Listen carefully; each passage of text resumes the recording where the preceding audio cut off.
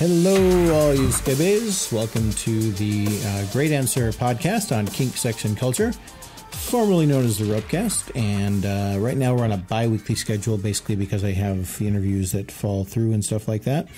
Um, but I'm very excited because we are going to be next week flying to Los Angeles for the uh, first GRU of 2017 and the sixth ever LA GRU, Los Angeles GRU. Um, and you can find out more about that at la.gru.space online. Um, but one of the cool things about this is this is the first time finally that I get to bring along my serva Naiia. Um, was also here on the podcast. Hello. And uh, she's wanted to go to the LA GRU for a while, um, has never quite been able to make it happen, although she did like come in from a distance once when I did in a, a class a session on long distance DS. Uh, she was there virtually. Um, and uh, oh, I also need to mention that this particular podcast is still sponsored by TwistedMonk.com, maker of fine handcrafted rope. And you got to have your hands on some Twisted Monk rope during your um, the Columbus GRU. Yes. And tell me about what that experience was like when you were working with that.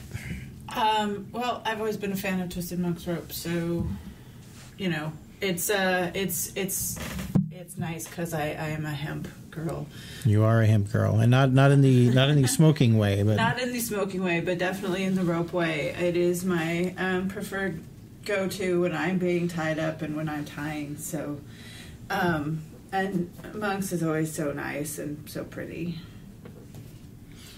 and what was what was like like how how would you describe the way it feels like somebody never had Monk rope in their hands before and you're like So I, I like natural fibers because they tend to have the bite against itself, but the the hemp is soft and it doesn't have the bite against my skin that say jute does. Which there's nothing wrong with jute, but I like I said, I'm hemp girl. some of our best friends are jute you know really Um, and it just it it flies and it it handles Yeah. really nicely. to be honest one of the things i like about uh, hemp versus jute is that it um, it is a little heavier has a little more weight to it i mean when i'm doing speed bondage or really fast stuff i do enjoy the fact that jute is light and it flies around but um, i also really enjoy when they, he used to have a, a brand called four strand bavarian blonde that was just such a pleasure to have running through my hands so That is a pleasure to be tied in as Yes. well. Uh, twistedmonk.com is where you can find his stuff.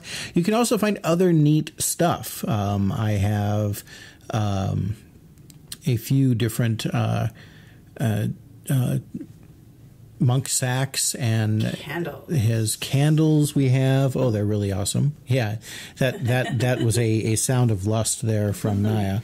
Yeah. Um, and I recently ordered some um, stickers from Twisted Monk, and I ordered them specifically for this podcast.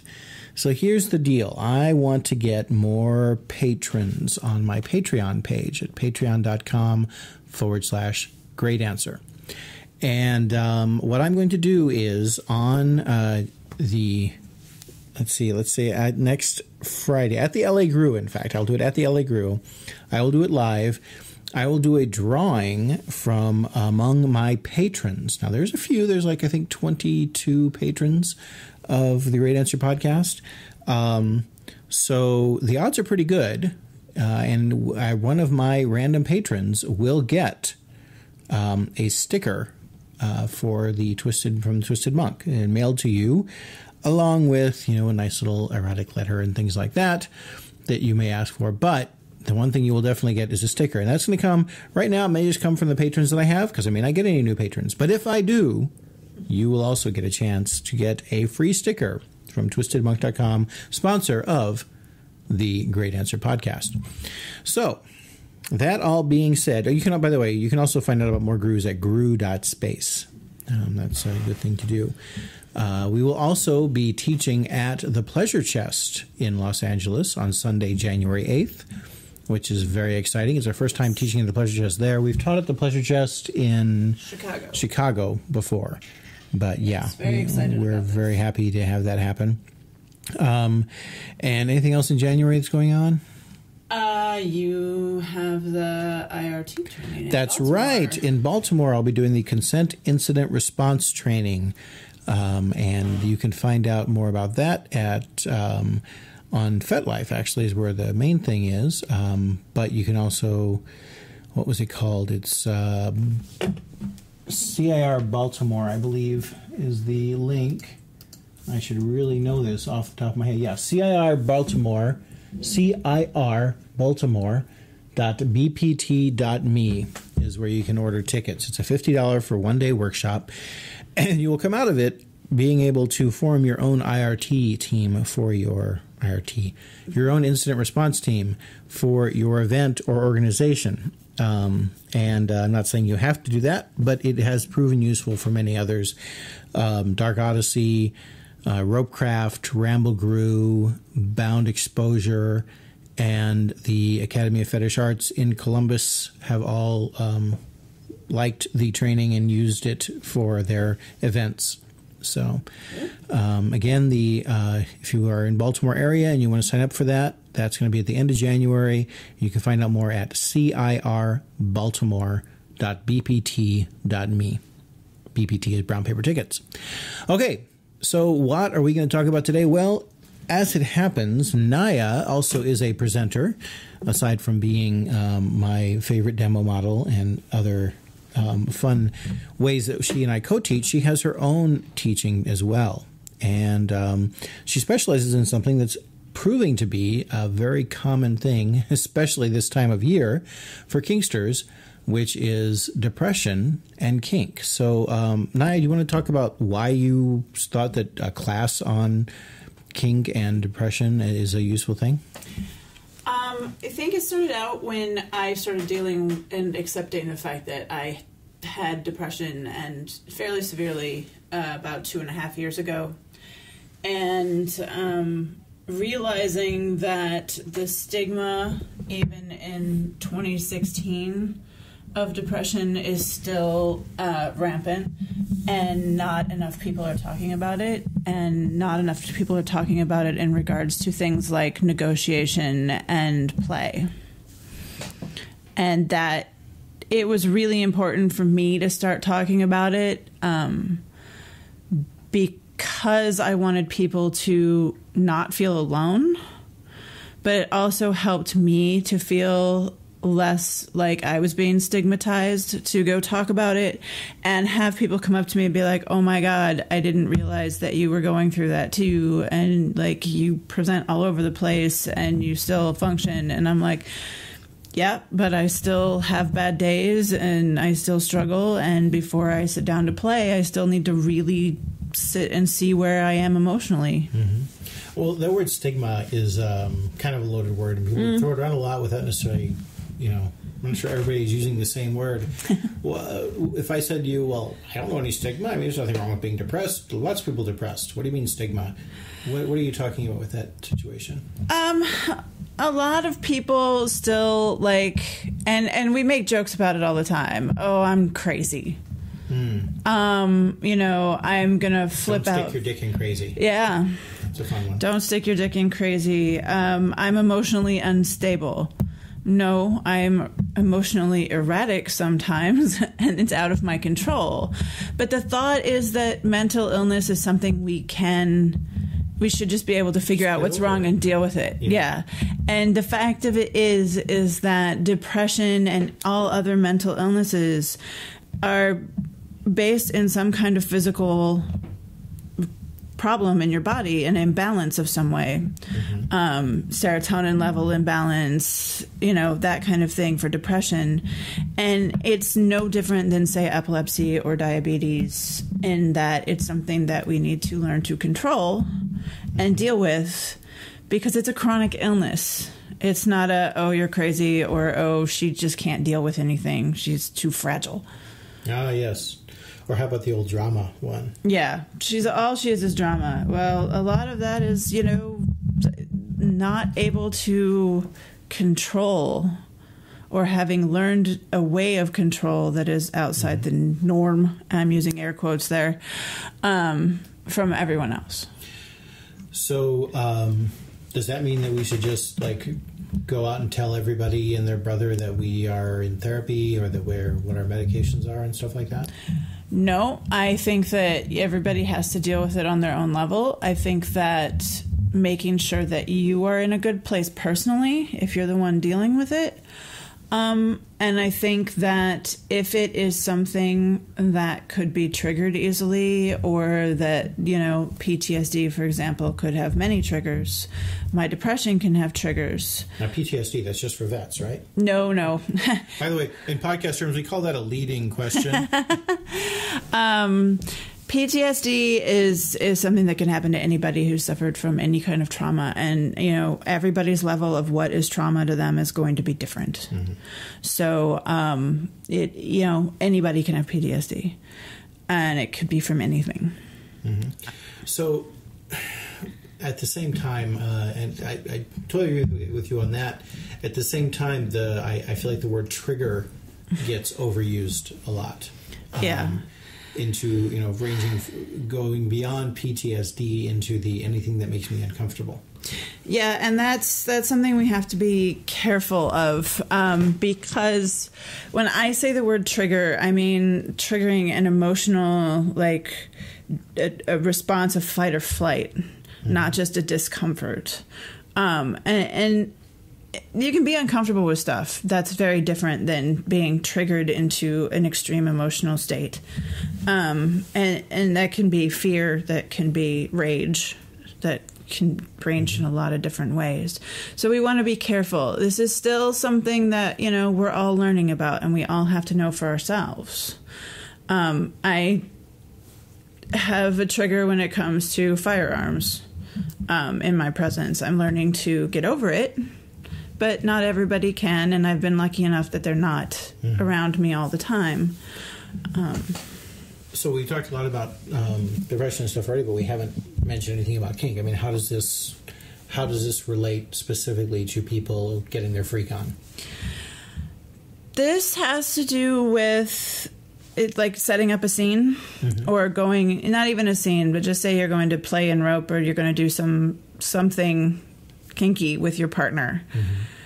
I find it really useful to, and I, am going to use another one of those lovely buzzwords, the whole mindfulness thing. I'm just going to get out of the way now. mindfulness, oh God. Um, I find it really helpful to sit with myself and kind of do a quick body scan and see not only how I'm feeling physically, but where I'm at mentally. Hmm. Um, so, which can describe what the process is of a body scan. So I'm just going to sit uh, or lay down. It's kind of whatever's comfortable for you. Sitting in a chair, sitting cross-legged on the floor, laying flat on the floor. I don't care if you lay fetal position, whatever's comfortable. And I'm just going to close my eyes and focus on my breath. And then I start at the, you can start at the top or the bottom of your body and just kind of do a mental check. How does my head feel? Like, are we talking physically or emotionally? Both. Oh, okay. I do both. Um, and at first, it's helpful to maybe just do physical to kind of get used to the process and just say, huh, my head kind of feels dry or itchy. My, you know, and move down. My throat's sore. My, you know, huh, when I take a deep breath, my chest feels tight when I let it out, there's pain, and you know, and just kind of acknowledging those things. They don't have to mean anything but just kind of making a mental note of, huh, that's what's going on in that part of my body. That helps then when I decide, A, how I'm going to play and what I want to do. If it's going to determine if I'm just going to have a slow, sensual rope scene on the floor, or if I'm feeling really good and want to try being put up in suspension. Okay. Um, you're a switch. Yes. So, how would that affect uh, your decision about topping? I mean, are, are there things that you couldn't do? As, like, could you do a suspension with somebody, or let's? I don't think you do suspension. I don't do a suspension. um, could you do a rope scene with someone when you were depressed from a tops perspective, that you wouldn't do when you were at the bottom, or does it work both ways? It works both ways. Um, I'm going to make that judgment call pretty much at the time of when I sit and decide how I'm feeling Um, and you know, if, if the person I'm playing with then says I don't really feel like doing that, then I'm okay with that being okay. Maybe next time, because I- I have to be honest with myself mm-hmm. in order. Because, like I tell in my classes, this is supposed to be play. It is supposed to be fun. Yes, it can be serious, but it doesn't have to be. This has to be the only way this scene goes, or else. Do you ever say to yourself, "Oh man, I'm feeling really depressed. I should go have a scene so I can snap out of it"? No, I don't do that because that is not how I deal with my depression. Um, that is that puts a burden on someone else that I'm not willing to do um, for my emotional state and for what may happen during the scene. And so, if I'm in a really bad depressive state, I may ask you, exam- for example, because you're my partner, to maybe put me in rope in a meditative state and just be in the room with me and leave me on my own. Okay, so it's okay to use it as for therapeutic purposes. Therapeutic, you- but not therapy. Yeah, that was a replacement for therapy, right. right? Therapeutic, as long as you are being clear with your partner that that's what you're doing. Yes. Okay. And that I don't I, I don't need anything from you except to put the rope on me and to be there for my safety. But um if something comes up that I need help dealing with later, I will talk to you or my therapist about it. But um, I will not go into any kind of heavy play scene if I am in one of my depressive cycles. So you brought up your therapist, um, and you are fortunate enough to have a therapist that is kink aware. How did you open that conversation with him? Like when Um, you first walked in, and you're like, the same way I do with my doctors, in that I go in and I am just brutally honest. I'm like, listen, I'm kinky, I'm poly, I'm in a DS relationship. If you are, DS?" and I will explain it if they have any questions. And I say, I say those three things, and I'm like, look, if you are uncomfortable with any of those, that is perfectly all right. Tell me now, and I will go find somebody who is comfortable with them. Because this isn't, I mean, my doctors and my therapists need to be aware of these things. It is part of who I am, it is part of my life if they are uncomfortable with it, I am not going to put them in a position to be uncomfortable with something and me in a position to feel like I have morally failed somehow. So it's just easier on everybody. okay. And there's the. Do you recommend the kink aware professionals list that the NCSF has, or Um, it is. I haven't used it. I'll be honest. I I think it's a great resource if someone wants to check it out. Um, a lot of people who aren't kink aware aren't aware of the list. So, like, my therapist was not aware there was a list. okay? Um, it is not something that's widely advertised in the professional circles, I don't think, unless you know someone who's kinky or, you know, something up another professional who's dealt with it as well. And so I they they don't tend to sign up for it because Okay. they just don't know. So you just do like word of mouth kind of thing, or Um, honestly, I've just gone in to the doctors that I've chosen off a list and been like, okay, look, this is the deal. And if they're not okay with it, then I go back to the list and try again. have you ever had? Um, now that you've seen thousands of therapists, uh, or maybe either heard of or had people that were like, "Oh, that's that's the cause of your depression. I will cure you of this." You know the. Well, let's call it the Fifty Shades of Grey. You know? I We're going to fix you. I did have a therapist once who didn't tell me they would be uncomfortable. I didn't think they'd be aware that they'd be uncomfortable. Uh-huh. And once we got into therapy and started talking about stuff, I think they were trying to blame the mm-hmm. the kink or my lifestyle, but they weren't quite sure how it related back and they weren't quite sure how everything worked. And I think it's fair for the therapist to ask questions. Okay. I think it's important that they do their own research as well. But like my therapist was like, Are there any books out there? And I made recommendations. Now it's up to him to read them and figure out. What are those recommendations Uh, Tristan Taormino's opening up for Polly? Okay. for Polly. And Love in Abundance is another book, and I unfortunately cannot think of the author of that one right now. If Was only it- there was something that could tell us what the author Yes, quick the book was. Google search. Quick, fill the space while I'm typing. Um, also, I I have talked to him about kink and DS. Um, I honestly don't have any book recommendations on that, but uh, he is very open to listening to me talk about it. So that's what I do, and um, I have recommended a couple of things. It's Love in Abundance, A Counselor's Advice on Open Relationships by Kathy Labriola. L A B R I O L A. Um, and and yeah, so he got both of those books. And honestly, there's usually a budget at a therapist's office for reading material, and Okay. they can use that budget to get these books.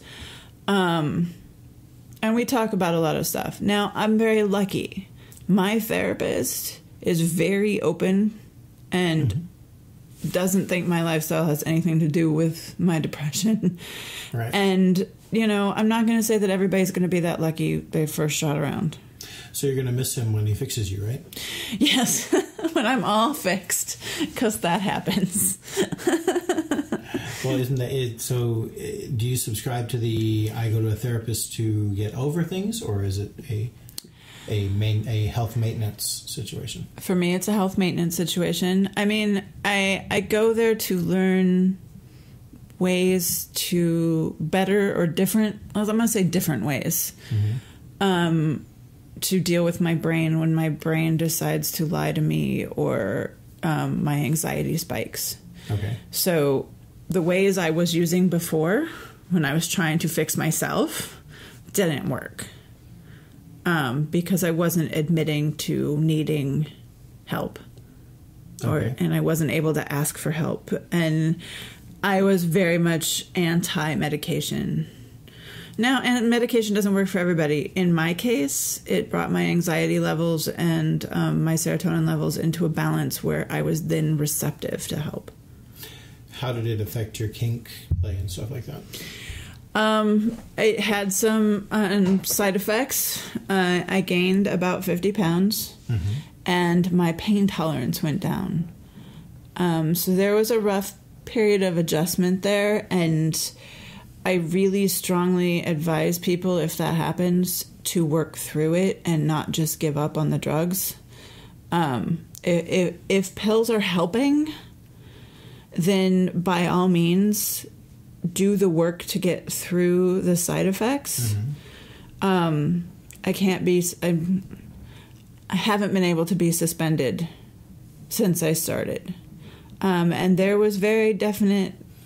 I, I, I, as the person who's suspended, I, I have suspended you a few times. You have been able to be suspended. It hasn't been easy. It hasn't been easy. It hasn't been for very long, eh, which is very different than Right, what it it was before. Right. Um, and since being a rope bottom that I was before, it kind of been part of my identity, Mm-hmm. how I saw myself. That was a challenge to accept that a that didn't change you and I's relationship, um, and learning to find ways to still get rope, get the kind of play I wanted, but not have it look the way it did before, Gotcha. Um, and be okay with that. So um, we have talked a lot about how this kind of change in the medication and stuff like that.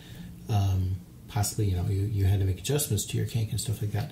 Are there any things that you found that, that you got a that were positive aspects of this change? Does the thing make it a illness per se as much as a change in the way things happen? Anything you found that that was good?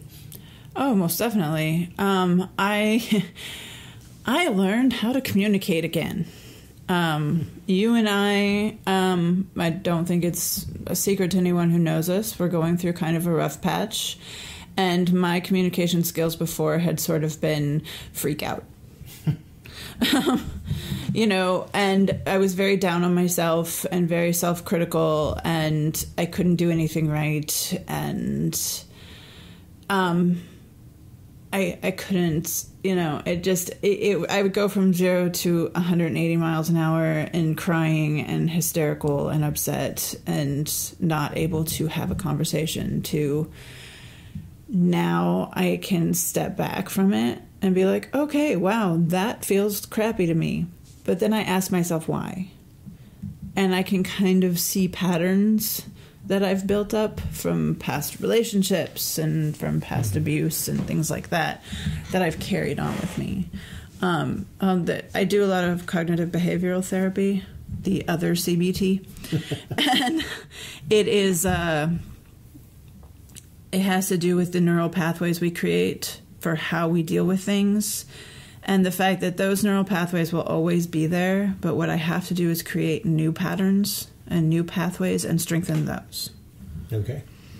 So the old patterns are never going to go away, and I can accidentally slip into them. But what I do is I now take breaths and stop the initial automatic reaction. Right. So that is a better in a lot of ways. Um, I've also been able to focus some better, um, and I can ask for help now, which is huge. Um, because I couldn't do that before, and so I was trying to deal with all of the things. So we talked a lot about like big lifestyle change type things like therapy and medication and stuff like that. It's the end of the year. It's the holidays. Things suck. People have had to deal with their families. They have to perhaps deal with uh, Seasonal uh, affective disorder. legislation that they don't like, or, or a a government that's coming their way that they're not going to like, and seasonal affective disorder. In the meantime, do you have any like like what were your top three tips for God? I feel like shit. What can I do? Any any like immediate things? Um, I would say to stop whatever you're doing immediately, like if that's happening, and just step out of it and do something nice for yourself. Like step out. What do you mean step out? Like if you're working, like I realize not everybody can just get up and leave work.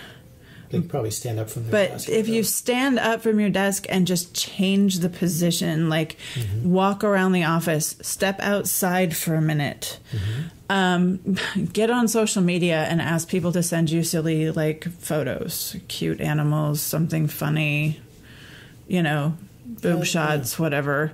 There's some eh, eh, in my other hat of love life practice. I can tell you there's a lot of neuroscientific, neuropsychological research that points to the fact that um, the same thing that makes social media addictive and two dots and things like that can actually also improve your dopamine you know, response so that it can help you get out of it. So yeah, fine, okay. Um, if if you're somewhere where you can do it, you mentioned two dots. Um, there are games that I have on my iPad, um, and this goes along also with coloring. Like stopping and doing something that makes me focus only on one thing. Um, two dots is one of those games. I have a game on my computer where I have to search for the hidden things in a puzzle. Um, coloring, something that requires just my focus and can get me just to focus on that. And that will help me kind of break the cycle of the ruminating thoughts and Okay. the, you know, beating myself up and feeling down and just make me step out of step out of it. And they have kinky coloring books and things like that as well. So They do. a, The other mm. thing I would say and and and is my meditation, which mm-hmm. works for me. It's not going to work for everybody. It might be exercise. It might be going for a run for somebody, which I don't run. It might be going and hitting a heavy bag. You know, you you listen to guided meditations. I mean, you and I do meditation differently, but you Yes. listen to guided meditations. Yes. Are there any kink focused guided meditations? Um, not yet. Ah, I something that would be an interesting. It is something that's crossed my mind. I'm I'm sort of playing with the idea of that plus some kinky yoga. Yes, we are, we talking about uh, doing a, a unilingus uh, Yes. uh, yoga thing. I'm a big fan of yin yoga only um, well not only for a lot of reasons. One being that it slows you down. Um, and we tend to rush and be really busy and stressed out a lot. And yin yoga requires you to slow down. Um, you, it's the reason you don't like it. No, I like yoga. yin yoga doesn't pretend that it's not boring. Right.